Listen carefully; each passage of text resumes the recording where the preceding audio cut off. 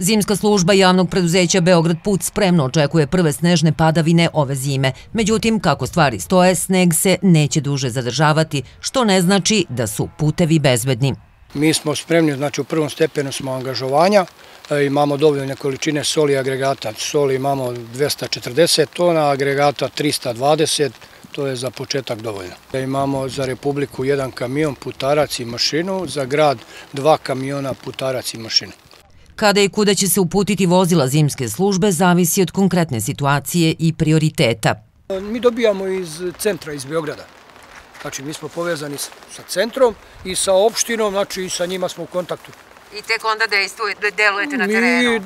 Ja, recimo, imam ovlašćenje, čim prva pahuljica krene, moja procena šaljem gore, ja se ne baljavac, ja gore veća je nadmorska visina, već recimo oko 7-8 večera ću im poslati da krenu mesne zajednice su uključene sa nama gdje treba da pošaljem ako je hitno negdje vozilo, treba da se odveze neki pacijent do doma zdravlja, ima dijalizu i to. Znači u kontaktu smo sa opštinom, idemo na sastanke i sve.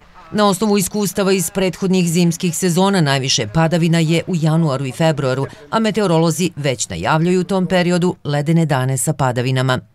U našoj nadležnosti su znači, Republika od Valjevski put, e, to podrazumijem se, od Hružnog toka, od hotela do Lončanika.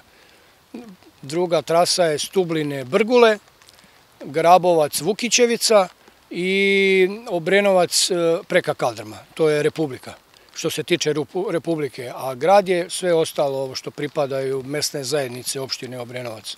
Znači, to je grad.